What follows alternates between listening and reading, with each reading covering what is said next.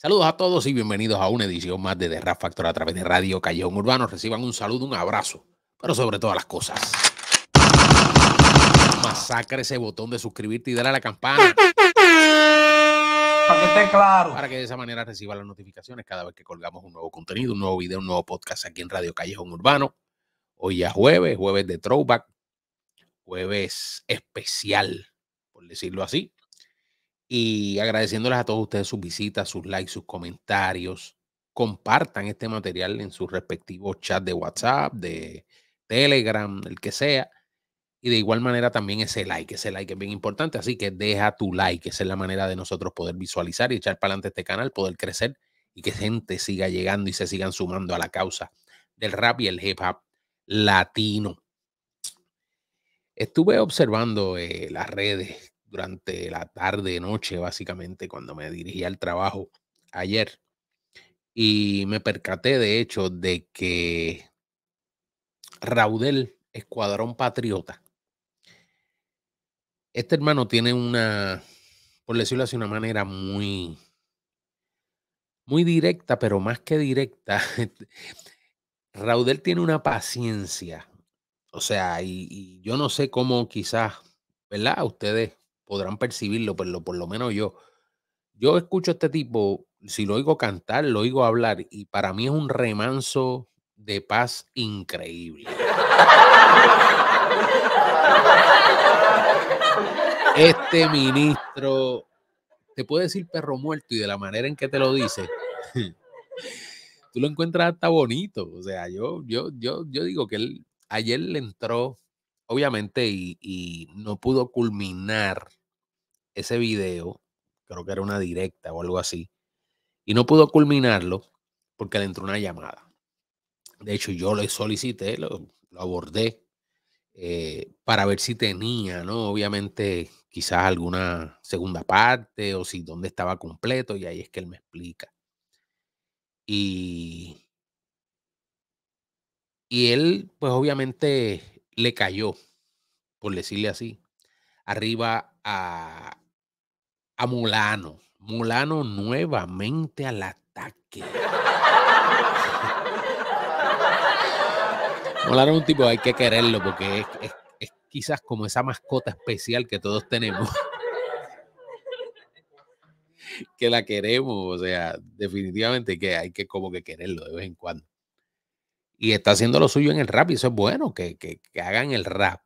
Pero donde donde podríamos decir que Raudel lo pilla de alguna manera o, o Raudel le entra con el cinto,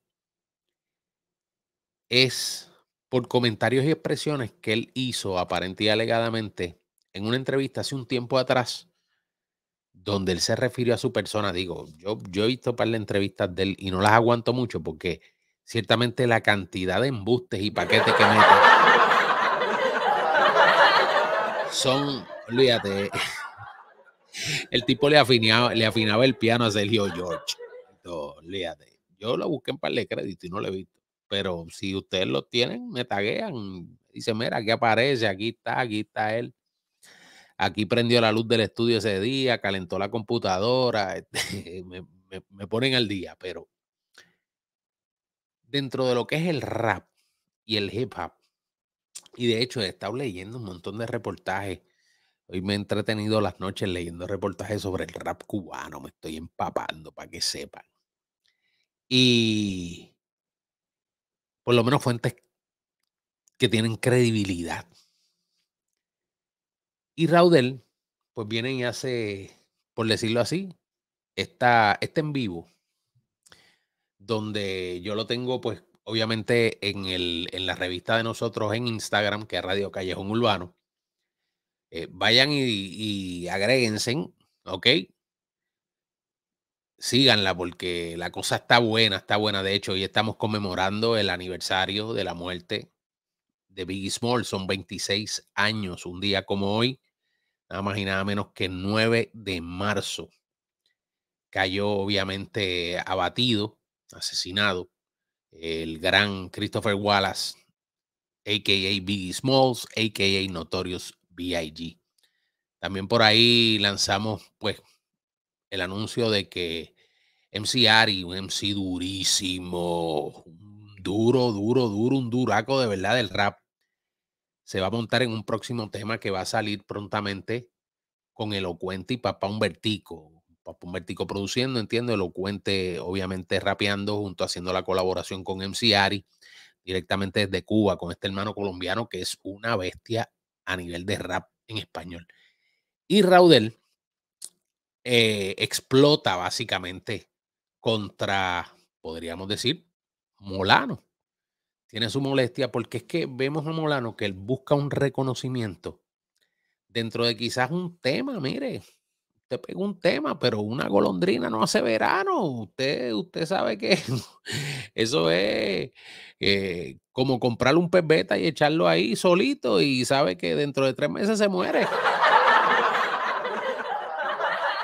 Usted hizo algo a nivel nacional, reventó con su temita allá en Cuba, pero, o sea, ya estamos acá, como usted le dice en el Yuma, ya esto es otro cantal, otro perico ripiado, esto Aquí hay que darle largo y tendido.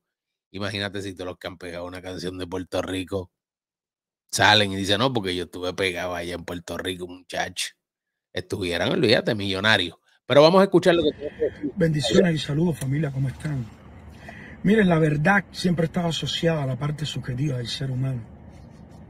Y la realidad es otra cosa. La realidad son los hechos concretos que tú puedes observar y medir de un fenómeno determinado. Eso es lo que yo digo. Este tipo tiene un bálsamo, una paciencia.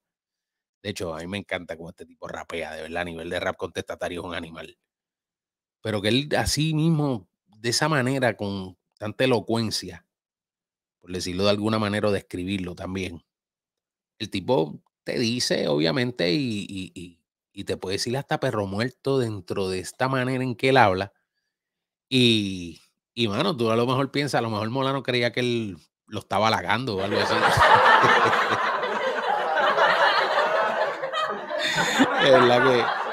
Y esto es chelcha, esto es para vacilar, esto es para gozar, pero le traemos la nota para que sepan qué es lo que está pasando. Y la realidad es que el rap cubano ha pasado por tres etapas fundamentales, a mi juicio. Finales de los 80, principios de los 90, de los 90 con bandas que se acercaron al discurso rapero. De hecho, a Tiraquere yo vi que sacó un tema que se llamó Son Rap yo creo que como para el 1991, más o menos. Dentro de todas las cosas que me estoy empapando, que tengo que conseguir hasta unos documentales ahí que no están en ningún lado. Mucho más comerciales, pero que en fin se acercaron en sentido general al discurso rapero, incluso coqueteando con este reggaetón primario en Cuba. La segunda etapa, que yo la sitúo un poco, un poco menos de la mitad de los 90 que aparecieron, empezaron a aparecer en, en la escena todas estas bandas emblemáticas que, todo, que todos conocemos. que casi... Me imagino que ahí estará, pues, obviamente, Anónimo Consejo, Obsesión, esta gente, igual para por récord hay que darle su reconocimiento. O sea, aquí sus flores las tiene que tener todo el mundo. Llevaron al rap cubano a su época dorada y que muchos de nosotros eh, somos consecuencia de esas bandas y que además del talento que tenían, yo creo que un elemento importante era que empezaron a coquetear con el discurso social de la realidad cubana. Y una tercera transición, que yo la sitúo un poco, 2003, 2004 en adelante, donde empiezan a aparecer bandas en la escena de rap cubano que llevan ese mismo discurso social un escalón más allá. Aquí es donde, donde obviamente entra él y es tan modesto que él ni, tan siquiera se, se autoapropia de un movimiento que él perteneció. Pero aquí hay una situación y es el hecho de que, y yo entiendo que cada cual tiene su historia y cada cual tiene su protagonismo y hay sus artistas en esta guaracha, en esta timba, en esta salsa, en este guaguancó, en este reggaetoncito, en rap y reggae, en underground, en lo que sea. Pero lo que el mundo, hablando mundo, realidad mundo, no realidad Cuba, no realidad Jayalía, no, no mundo el referente a nivel mundial, los referentes, obviamente fueron Oricha en un momento dado y eventualmente cuando salen, pues ya ustedes saben, el, e, verdadero escuadrón del pánico de Cuba, que fueron los aldeanos. Ahí estuvo también Papa Humbertico, ahí estuvo un Randy Acosta con los paisanos, Silvito, eventualmente, y ya ustedes saben. Por eso es que viene nuestra producción y por lo menos viene este enfoque dentro de lo que es el hip hop cubano. Porque nosotros obviamente cubrimos lo que es el rap latino y le tratamos de dar exposición, exponer y visualizar lo que es el hip hop y el rap cubano. Y esto como noticia, pues obviamente dentro de todo es relevante también, porque nos está dando una orientación, un poco de historia. Pero cuando digo mundo, fue lo que ciertamente se conoce a los ojos del mundo, sobre todo en Latinoamérica, como lo que fue la primera exposición fuerte del rap cubano.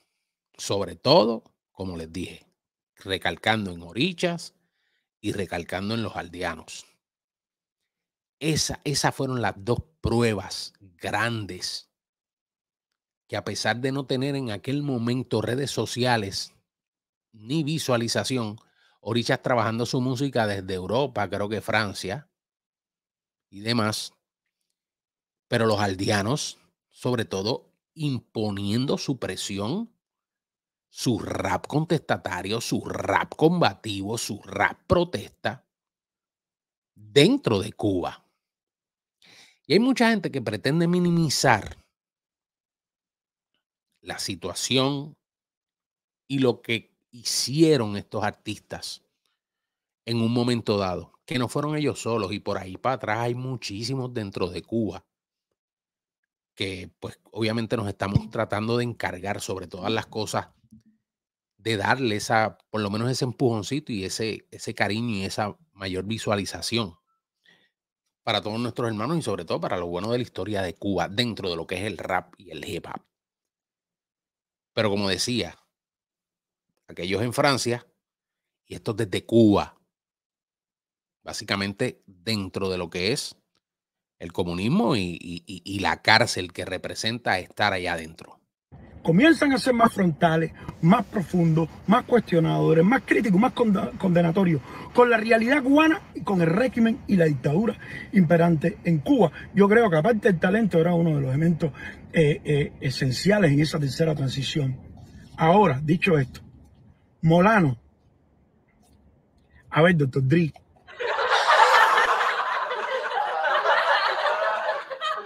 Se fue lejos se fue, se fue Doctor Dre. A ver, doctor Dre. Cuando tú dices que tú eres la columna vertebral del rap cubano y que llevaste el rap cubano al próximo nivel, ¿a qué tú te refieres, mi brother? Es una buena pregunta. O sea, y todo esto se desprende obviamente de comentarios y de entrevistas que, que aparentemente y alegadamente Molano ha participado. Sería bueno que tú le explicaras a tu entorno a qué tú te refieres con eso.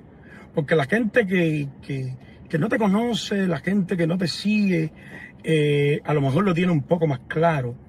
Pero en tu arrogancia supina que en estos últimos tiempos has desatado, tú dices, bendiciones y saludos familia, Miren, la verdad siempre está asociada a la parte superior del ser humano. Su elocución, por lo menos, y oye, qué bien, se me jodieron las baterías del mouse aquí. Vaya, que busco una batería nueva. Pero ciertamente él, pues obviamente responde eh, de esa manera ante quizás ante una molestia, ¿no? Porque este es de los que se ha jodido de tiempo atrás en cuanto al rap, no haciendo bachatitas, ni guarachitas, ni, ni, ni, ni bachata, ni reparto, ni esto, ni lo otro ni música para distracción del pueblo. Sí, porque no es una música para entretener, sino es para distraer los problemas, honestamente, que aquejan a la población cubana. Y, y obviamente es válido, sin lugar a duda. Es súper, súper válido. ¿Ustedes qué opinan? ¿Ustedes qué creen? Se comenta que hay una tiraera y que esa tiraera se apresta a salir. ¿Cuándo? Todavía no se ha anunciado. Si se dará, no se dará. Pero sé de buena fe que aparentemente ya hay algo contundente para el Mola. Así que, nada, con eso los dejo. Coméntenme allá abajo. Sobre todo, ¿creen ustedes que honestamente Raudel deba de tirarle a Molano? Díganmelo allá abajo. Regálenos un like, compartan, pero sobre todas las cosas, masacre ese botón de suscribirte y darle a la campana para que reciba las notificaciones cada vez que colgamos un nuevo video. Este fue el Low Q. Bonito jueves a todos. Dios los bendiga.